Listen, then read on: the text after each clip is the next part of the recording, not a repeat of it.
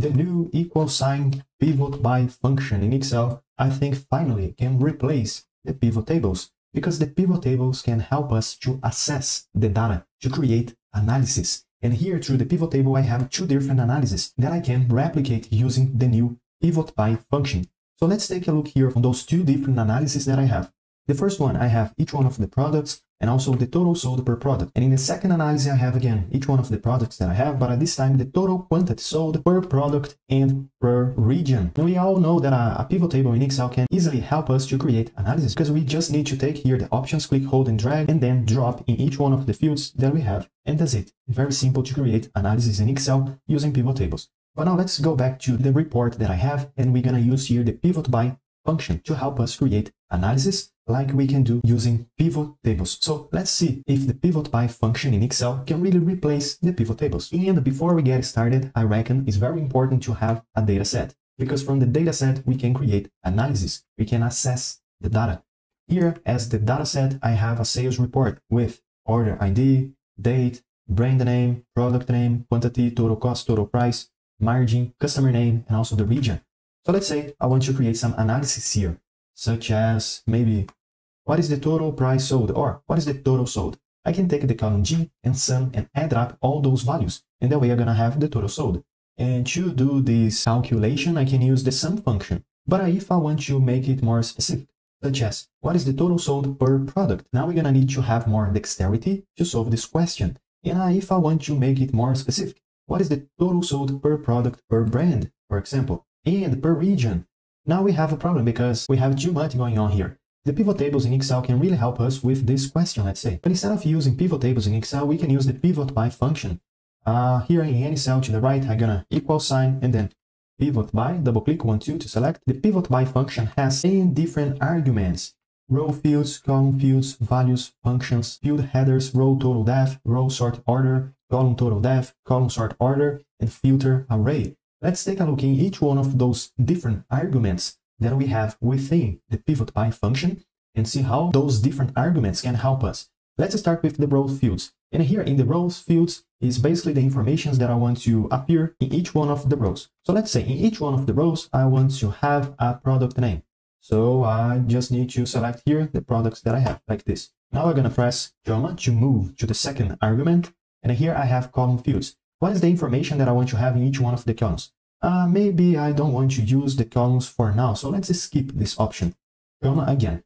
As the values, I want to know the total sold. So let me select here the total price. And remember, it's very important to match the ranges. So if I just select this range right here as the products, uh, let's say I didn't select here the headers, I also need to match the second range in the, in the values. So I don't need to select the headers. Now let me press here, comma again, and uh, what is the function or what is the calculation that I want to, to do with the data that I have?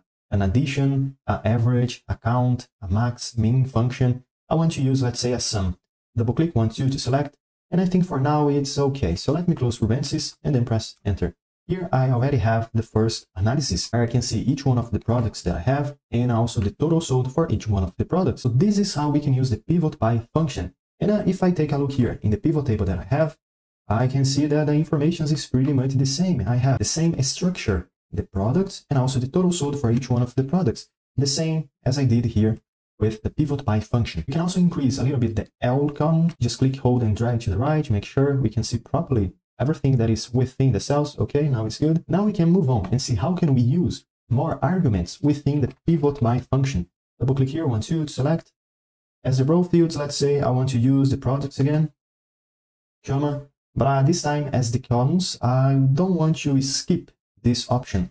I want to use as the columns maybe the region because I want to separate, to sever each one of the values in a different region. Comma. The values I want to use maybe the total price again and comma. And the function let's use sum just to be able to compare both of analysis that we are creating here. Sum, one, two, and then close parentheses. Let's press enter and here we're going to have, again, each one of the products, but at this time, the values is going to be separate in each one of the regions, east, north, south, and west. And here in the last column, I have the grand total. And as you can see, the totals is going to match with the previous analysis that I did. Now let's go back here to the pivot by function, one, two, to open this function. And let's see what we have here as the, the arguments, because we are missing some arguments. Let me read it off the last parenthesis and then comma.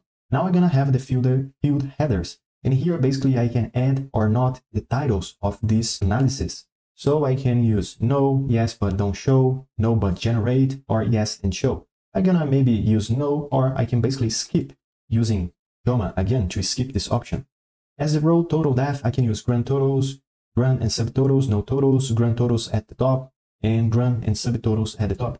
Basically, as you we can see here, in the last row, I have the total. I can read off this option, or I can keep this option, and I can also add subtotals, grand totals, and on and on.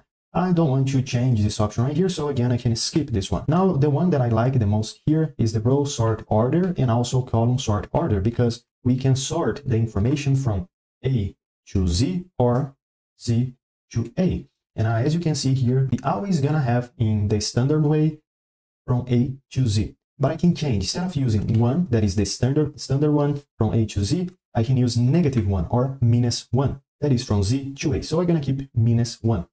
Trauma. Now column total depth, we're gonna have, again, basically the same options as before, but instead of have as the criteria the rows, we're gonna have the columns as the, the criteria. So I can use uh, totals or not. I'm gonna just skip this option because I don't want to use, or in other words, let's press comma here. I don't want to change the standardness of this analysis. I just don't want to change the totals. So comma, now column sort order. And again, as we did before to the row sort order, we can sort the columns from A to Z or from Z to A.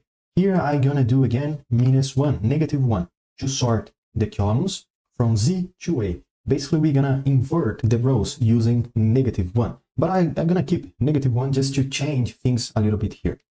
Comma, and finally, the last argument, the filter array. I'm gonna skip this one. Let's read it off the last comma because I'm gonna talk about the filter array in just a moment. Okay, so close parentheses and then enter. As you can see, basically the only thing that we changed here is the order of the columns or the rows and also the columns. And before we go to the filter array, let me select here this first data that I have but I want to read it off the total because I want to create a chart here in Excel, an interactive chart. So double click in the first cell, one, two, to open the pivot by function. Let's read it off the last parenthesis, comma. Filter headers, let's skip, comma. Row total depth, I want to show no totals. So I want to use zero, one, two as the option, close parenthesis and then enter. As you can see now, we have the data with no totals. And I want to select everything that I have here. And then I go to insert and I want to use maybe a column chart like this one right here. And as I said before, it's a dynamic and interactive chart because whenever we change the data that we have in the dataset, the pivot by function is going to automatically be updated for us, whereupon the chart also is going to be automatically updated for us. So take a look here. Let's take maybe creatine and uh, or I'm going to take vitamin C. So vitamin C is right here. And uh, vitamin C is right here. I'm going to increase here the total price for a ridiculous number such as 99999. Okay, like this. I'm gonna press enter. Look what's gonna happen here with vitamin C in the analysis and also with the chart. So enter. As you can see now, the vitamin C is ridiculous large compared to the other values that we cannot even see properly anymore.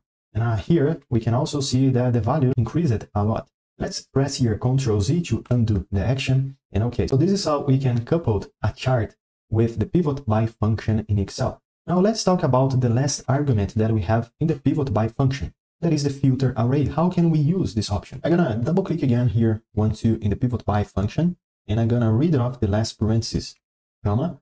Let's see how can we use here the filter array. And uh, as the name suggests, it's basically a filter for the array, for the range.